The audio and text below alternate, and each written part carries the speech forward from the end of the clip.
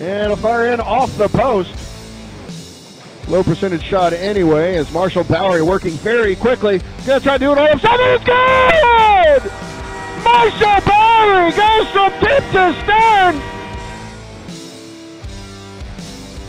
Late number change. That's JP Lafferty. Be wearing 15. He's got 27 on. It's another chance inside somehow. No, initially it was waved off, but they're going to say that goes in. Far. Miziak coming out with Richards, a shorthanded two on one. Miziak left side, Richards scores! Second goal of the night for Jon Richards, working a shorthanded two on one with Justin Miziak.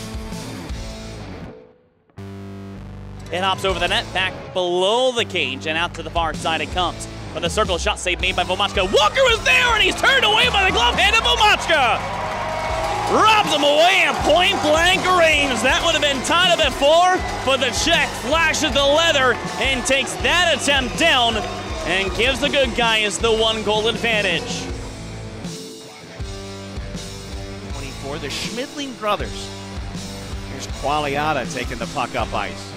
Quagliata trying to get around Ben Schmidling. Open space for Dineen. The shot, he scores! Kevin Dineen in overtime.